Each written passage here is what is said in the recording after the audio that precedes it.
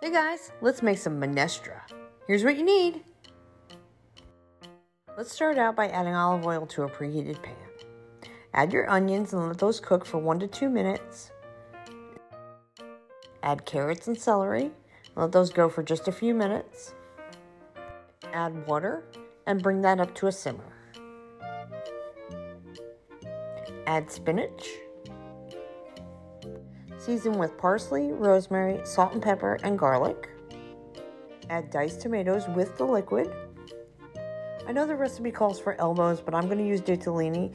Really, any small pasta will work. I'm going to put about a half a cup in. Let that simmer for about 10 minutes. Add Parmesan cheese to your liking. And enjoy!